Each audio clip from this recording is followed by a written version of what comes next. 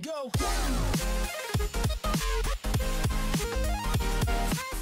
What is new YouTube? It's Moose. bringing you guys another Black Ops 3 tactical only video. Now it's not actually tacticals only.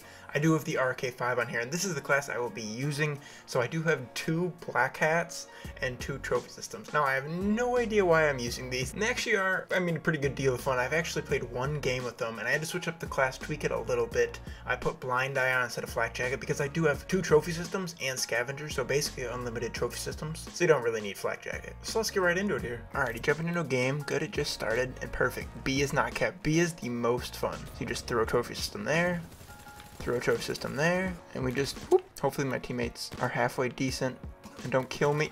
Okay, why is this a part of the game? Why can I, oh, but my teammates are to shoot them down? No, teammates, stop. Let me hack their UAVs. Yes! Can I, can I black hat a power core? Please tell me I can. No, I don't think I can. See, they have any score streaks up? Yep. Let's just, we'll just take that UAV here real quick. Thank you so much. Oh, they have another UAV up? That's a shame. It's a damn shame. Oh, these are so dumb. I do remember someone telling me that, like, before in the beta, I guess, like, the, the uh, Black Hats were super overpowered or something like that. Like, it took, like, no time at all. Like, let's just say, like, a Wraith or a Raps or something went up in the air. You just look up, just boop, it was it was yours. So they did fix it where it takes a little longer, and I think like larger score streaks like that, you actually like it takes two. It actually like takes two full black hats. Ooh, hostile UAV up? Really? I'll take that. They probably worked so hard for that UAV. And where's it spotted at? Hostile UAV, there she is. I'll take it from here. And thank you very much. Hostile Wraith, oh yes. Wait, why can't I do it? Let me hack the Wraith. So damn hard. Alright, where's the hater at? We're hacking that. No. Okay, these bigger score streaks are literally, like, impossible. This damn Wraith keeps moving around. And he destroyed it. I wanted to take it. I want this Guardian. I want to own it. No! I was so close! No! Yeah, hostile UAV spotted.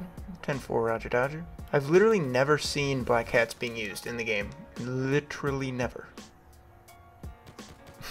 I'm just hoping he won't see me. Okay, this kid on the other team is 66 and 29, and I'm over here capturing his UAVs. What? Come on. Let's see if we can have another interesting game. Oh my god, our team is terrible. 18, 20, and 11. And a 36. We have hacked an enemy UAV.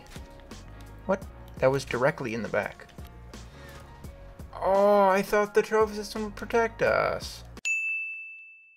Haha, style UAV, but I feel like this whole video is probably just me hacking these UAVs. But that's fine, because it's actually a lot of fun. Who needs a launcher when you can just freaking take it for yourself? So after two games, I'm at 24 pieces of equipment used, hacked, whatever with the Black Hat, and 21 score streaks, those are all those dang UAVs. And trophy system, not very far. Just gonna be another long road with the tacticals.